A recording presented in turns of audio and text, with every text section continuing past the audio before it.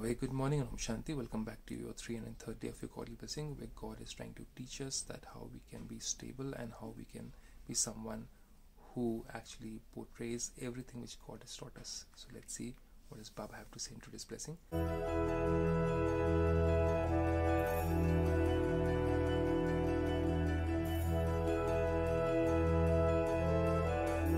Baba says, May you be an experienced image and reveal the image of the Father and the teacher with your own image. So, experience can come only through experiences of life, provided we have the knowledge and the wisdom and we have taken the right path, and the experience of choosing the right path is there with us.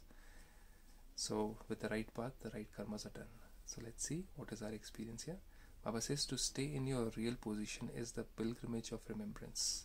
So the real position is I am a soul, not this body. So soul consciousness means heaven on earth. Body consciousness, we get distributed, we this disparity amongst human beings. Body consciousness brings that.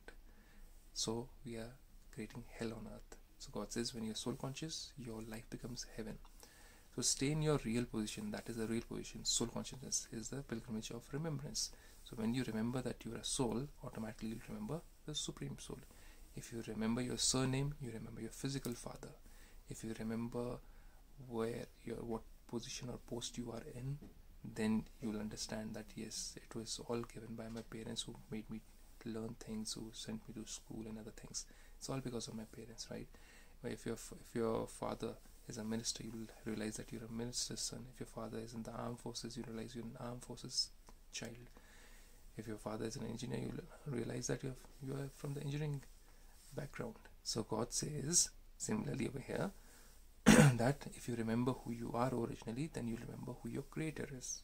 So if you are originally soul conscious then automatically god comes to our mind.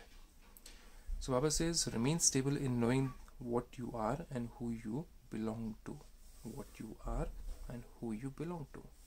And with this real form of faith and with your awareness of victory many times, you will constantly continue to move along the waves of the ocean of your intoxication or intoxicated stage. So, when we are soul conscious, our karmas are pure, we try to be more refined, we don't have any disparities in our mind, we are more peaceful, and that's where we have the intoxication of the peace and the love and the happiness which God has given us through this soul conscious knowledge. So then God says, So continue to move along in the waves of the ocean of your intoxicated stage, since you are the children of the bestower of happiness.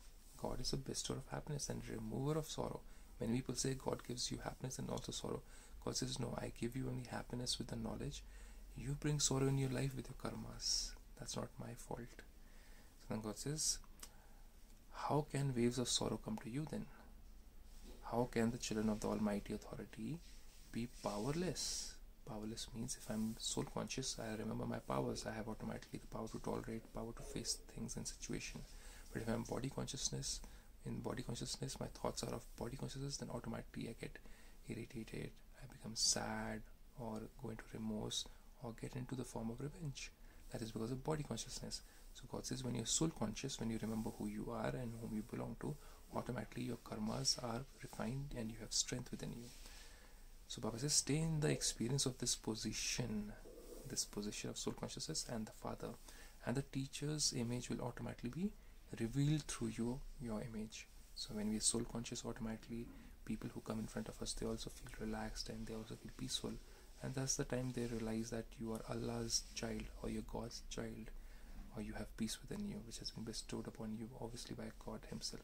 So you become an image of God. Now, how do you become an image of God? Is what we learn at Brahma Kumaris, and it's a slow process, not a one-day process. I hope you come and learn that to the nearest center next to you at Brahma Kumaris Godly Spiritual University. Have a blessed day. Om Shanti.